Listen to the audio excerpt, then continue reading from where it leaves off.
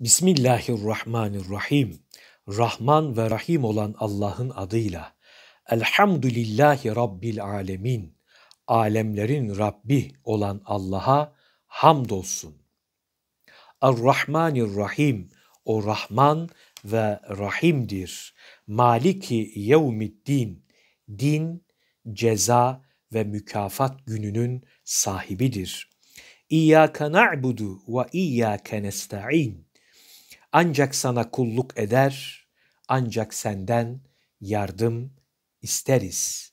İhdina sıratel müstakim. Bizi doğru yola ilet. Siratellezine en'amte aleyhim.